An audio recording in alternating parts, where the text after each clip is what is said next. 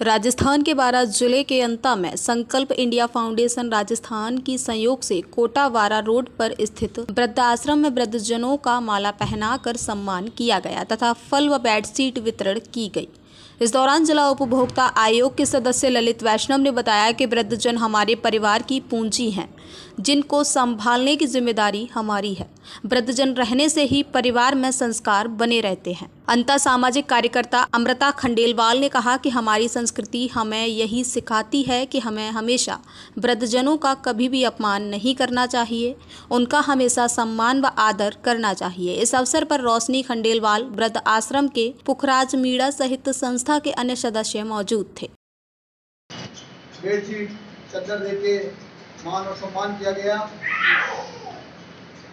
इस वर्तमान युग में परिवारों में जिस तरह से वृद्धों का तिरस्कार हुआ है, वो बड़ा दयनीय है।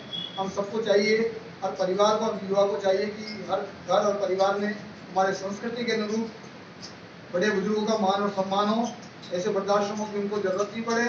मैं इस अवसर पर ललित वैष्णव सवारी संकल्प इंडिया फाउंडेशन राजस्थान, द्वारा जय हिंद, जय भारत।